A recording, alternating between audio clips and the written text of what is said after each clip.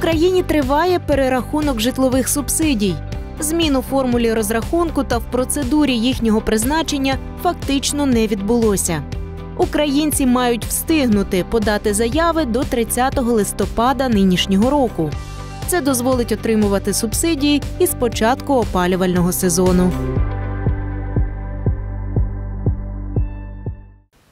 Що важливо знати про житлові субсидії та які зміни чекають на українців у новому опалювальному сезоні? Дізнаємося від гості моєї студії сьогодні. Це начальниця відділу контролю за правильністю нарахування житлових субсидій та пільг головного управління пенсійного фонду України в Дніпропетровській області Ольга Волобуєва. Пані Ольго, рада вас бачити. Вітаю. Добрий день. Досить об'ємну і актуальну тему маємо сьогодні для обговорення. І перше запитання: як же будуть нараховувати субсидію на новий опалювальний сезон, і чи треба звертатися е, за її перепризначенням людям, у яких вона вже була станом на 1 травня? Якщо в нас е, в людей була субсидія на 1 травня 2024 року, то звертатися за новим е, за новою субсидією не потрібно. Усі субсидії на опалювальний сезон 2024-2025 років е, ми е, переназначимо автоматично. Навіть ті субсидії, де е, була субсидія в неопалювальний період, тобто з 1 травня літом 0 гривень. Такі субсидії теж перерахуються з 1 жовтня автоматично. Період доходів буде врахований за перший другий квартали 2024 року, а пенсійна виплата за серпень місяць поточного року. Ви сказали, субсидії перерахують автоматично. А от якщо у людини чи у родини збільшився або зменшився дохід, е, ці відомості пенсійний фонд бачить автоматично, чи все ж треба про них повідомляти? Ні, повідомляти про них не треба. Пенсійний фонд на зараз бачить всі відомості автоматично. Відбувається інформаційний обмін і збір доходів. Тому усі доходи громадян, які були проведені е, чи е, через е, Державну податкову службу та пенсійний фонд, Мінсоцполітики, все це бачить по обміну. Пенсійний фонд бачить, і все це буде враховано, і на підставі цих доходів зроблені розрахунки. Пані Ольго, якщо людина тільки збирається е, отримати субсидію, от роз'ясніть, будь ласка, яким чином її буде призначено, куди необхідно звертатися і які документи підготувати? Е, Якщо вперше людина хоче звернутися за призначенням субсидії, необхідно звернутися або до сервісного центру е, Пенсійного фонду України, е, будь незалежно від місця проживання. Тобто, де людині зручно, там вона і звертається до ЦНАПів, до е, тергромад. При тергромадах теж працюють е, відділи соцзахисту, які приймають е, ці заяви і передають потім електронним е, шляхом до Пенсійного фонду України. Е, для того, щоб звернутися, необхідно людині подати заяву і декларацію. Хочу зауважити, що для пільг потрібна тільки, тільки заява. Декларація не потрібна. Для субсидії і заява, і декларація. Чи можна субсидію оформити через онлайн-сервіси? І наскільки ця процедура, на ваш погляд, є доступною для людей пенсійного віку? Е, Так, е, є зараз і онлайн-сервіси.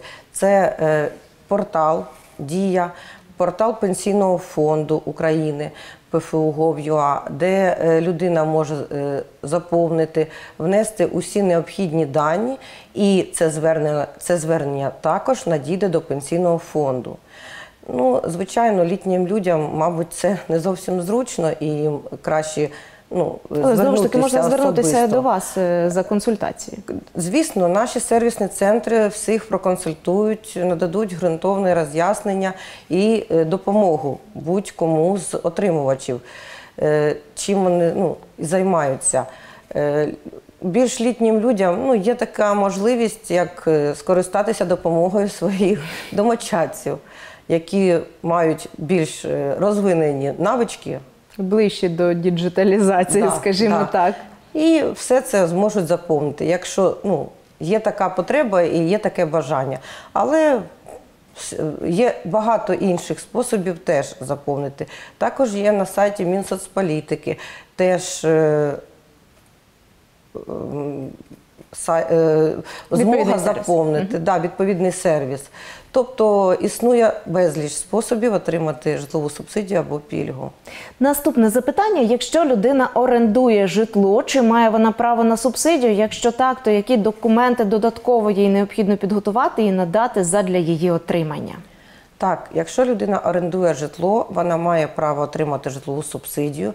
Якщо на перше число місяця вона е, проживає в цьому приміщенні. Для цього їй потрібно надати договір оренди житла. Також хочу е, зауважити ще про те, що внутрішньо переміщені особи. Вони теж мають е, отримати, е, мають право звернутися за отриманням житлової субсидії за фактичним місцем проживання, але обов'язково долучити довідку про те, що вони е, як внутрішньо переміщена особа зареєструвалися саме за цією адресою. І теж звертаю увагу, що субсидія надається з першого числа місяця. Тобто людина звертається продовж місяця, але е, розрахунки проводяться на перше число. Якщо людина не проживала в цьому домогосподарстві, на ну з першого числа цього поточного місяця, то вона не має права звернутися. Вона потрібна з наступ... повинна з наступного місяця звернутися за житловою субсидією. Пані Ольго, заповнення документів. Давайте трішки детальніше зупинимося на цьому питанні. Е, Зокрема, заява та декларація про доходи та витрати. На що би ви рекомендували звернути увагу громадянам? На чому би ви акцентували тут? Е, На сьогоднішній день е, в заяві е, на, на призначення житлової субсидії заповнюється основна частина заявником даних, які потім беруться в роботу і в інформаційний обмін. Якщо людина зап- заповнює дані, вона повинна розуміти, що від того, які вона циферки поставить, які вона буковки зазначить, тобто це все е, має Може вплинути на Так, подальший так. процес призначення.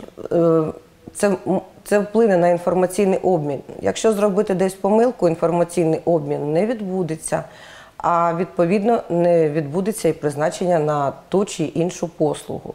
Тому е, я рекомендую людям дуже уважно е, переносити дані з їх документів, тобто паспорт, свідоцтво про народження, реєстраційна картка. е, облікова реєстраційна картка платника податків, е, сімейний стан, майновий стан зазначати. Теж хочу сказати, що майновий стан дуже важливий.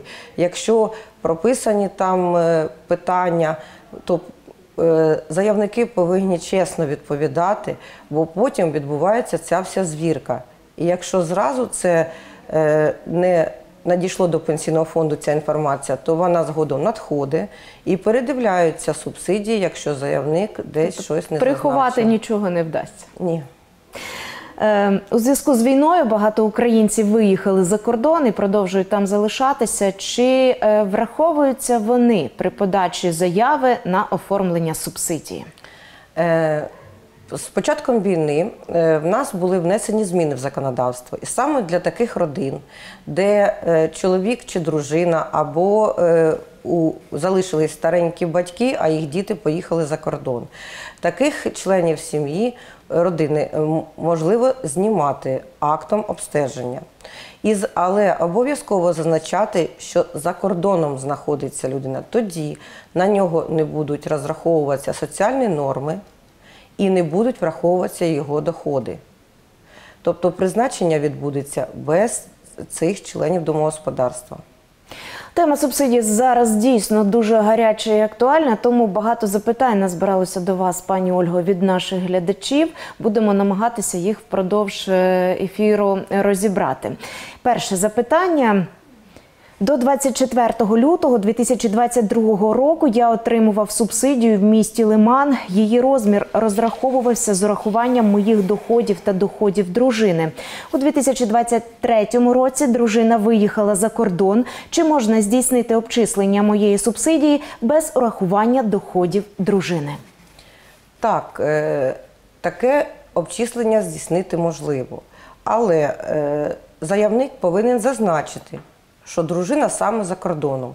Якщо він ще надасть ну, якісь додаткові документи, чи е, підтвердить виїзд, чи просто напише в декларації, що саме дружина за кордоном, то її не врахують в розрахунок і буде призначена житлова субсидія на одного заявника. Оце дійсно зараз е, важлива інформація. І ще одне запитання до вас маємо. Раніше наша родина користувалась субсидією на домогосподарство, яке опалювалось від централізованої котельні. Зараз наш будинок від неї відключений. Чи маємо ми право на субсидію з урахуванням опалення? Е, Так, на такі випадки теж передбачені е, законодавством норми. Якщо в нас є документи, що будинок відключений від централізованого опалення, а е, родина користується побутовими електроприладами, то розраховуються норми як для електроопалення і призначається житлова субсидія. Але хочу ще додати, що тут потрібен акт е, про те, що дійсно родина мешкає за цією адресою, користується побутовими електроприладами. Затверджений форма акта затверджена Мінсоцполітики. Наступне запитання: скажіть, будь ласка, чи існують якісь електронні сервіси, за допомогою яких можна самостійно прорахувати розмір субсидії? е, ну чи взагалі з'ясувати, чи її тобі нарахують? Щось на зразок пенсійного калькулятору? Чи є таке? Ну, на жаль, е, для субсидії не існує калькуляторів для розрахунку, тому що е, дуже багато вимог і е, різних умов е, для призначення субсидії. Прорахувати всі, е, навіть е, знаючи про себе усе. Ну, Ти можеш чогось не знати, Да, ти так? мож- ні, ти можеш щось забути, щось не врахувати. І ти сам собі визначиш субсидію, а, на, а відбудеться що? Потім людина засмутиться, з'ясується, що, що її не призначать. Да-да-да. Зрозуміло, дякую вам за відповідь. За яких обставин, пані Ольго, можуть позбавити субсидії і якими на те можуть бути підстави? Е, Позбавлення житлової субсидії може відбутися з таких випадків. Е, Якщо в нас перед зверненням людина здійснила покупку, е, це земля, квартира, транспортні засоби таке інше на понад 50 тисяч гривень за 12 місяців перед зверненням. Далі, якщо в нас люди- у людини є депозит, теж понад 100 тисяч теж це є підставою. Далі, якщо людина виписалась з цього домогосподарства, ну тобто вже не має права на отримання цієї субсидії. Якщо померла людина, це теж підстава для відмови. Ну, один із членів домогосподарства нам не повідомили. І наступне запитання: от в якій формі зараз виплачуються пільги, субсидії, чи є тут якісь зміни? Е, Пільги і субсидії на зараз і спочатку з 23-го року, як Пенсійний фонд України на себе взяв цю функцію, виплачуються в готівковій формі. Е, Виплати проводить Пенсійний фонд України. Е, Без готівкової форми вже не існує. Давайте ще раз нагадаємо нашим глядачам, на які саме житлово-комунальні послуги може бути призначена субсидія. Субсидія може бути призначена на е, багатоквартирні будинки, на опалення, централізоване, газове або електричне, на водопостачання і водовідведення централізоване, е, на вивіз побутового сміття, на вивіз рідких нечистот. У яких випадках пільговикам е, необхідно звертатися до сервісних центрів пенсійного фонду особисто, про які зміни необхідно повідомляти? Ну, по-перше, якщо пільговик вперше е, отримав статус, йому необхідно звертатися до сервісного центру, і цей статус підпадає під закони України, які е, дають право на користування пільгою е, на житлово-комунальні послуги. По-друге, якщо у пільговика відбуваються зміни в домогосподарстві, тобто е, хтось родився е, або розвівся, або женився, або е, десь хтось не дай, помер. Тому це теж є підставою, бо відповідно від кількості членів домогосподарства розраховуються соціальні норми на житлово-комунальні послуги. Також пільговикам необхідно ще звертатися, якщо вони змінюють місце проживання. Тобто е, пільги призначаються за факти, можуть бути призначені за зареєстрованим або фактичним місцем проживання. Ну, на фактичне проживання, звісно, повинен бути акт і таке інше, як ну, відповідно до законодавства. Субсидії в нас призначаються тільки на зареєстрованих членів домогосподарства. Фактично, я вже як казала, можуть отримувати субсидії тільки орендарі, тобто люди, які мають офіційний договір оренди, або внутрішньо переміщені особи, в яких є довідки. Чи треба пільговику особисто звертатися до пенсійного фонду, чи є якісь інші способи, як можна подати документи на оформлення субсидії? Пільговик може сам звертатися, може звертатися його уповноважена особа. Також він може скористатися нашими е, онлайн-сервісами через портал пенсійного фонду і таке інше. Е, може звернутися до ЦНАПів, може звернутися до тергромади, може звернутися так, як йому зручно на час звернення.